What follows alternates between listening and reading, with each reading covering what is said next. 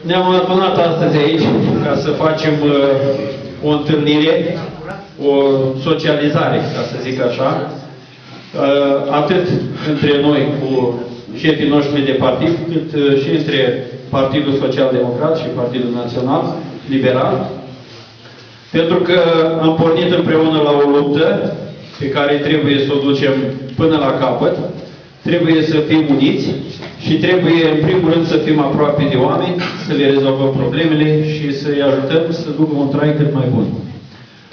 Uh, ce pot să vă mai spun?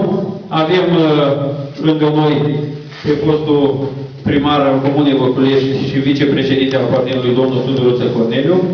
Îl avem pe domnul deputat Vălineaschi Andrei. Îl avem pe domnul senator Gheorghe Marcu. Uh, președintele organizații, organizații teritoriale, domnul Partidului Național Liberal, domnul Titi Bursuc.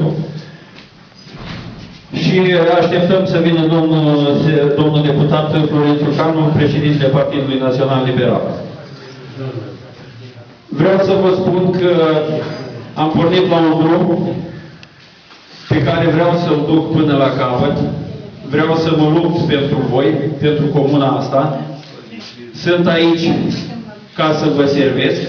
Sunt aici pentru că mă interesează ce se întâmplă în comuna asta. Sunt aici pentru că și copiii mei și eu suntem aici și vom fi aici și mă interesează viitorul nostru și a comunei noastre. Cine vrea să creadă treaba asta și cine merge alături de mine și de echipa noastră, va avea numai de câștigat. Pentru că ați observat câte s-au făcut, câte am făcut și personal împreună cu dumneavoastră, bineînțeles, dezinteresat, fără fonduri europene, fără alte subvenții din altă parte. Pe banii noștri am făcut multe lucruri frumoase și comuna noastră este acolo scrisă și în ziare și pe internet și la televiziune am apărut.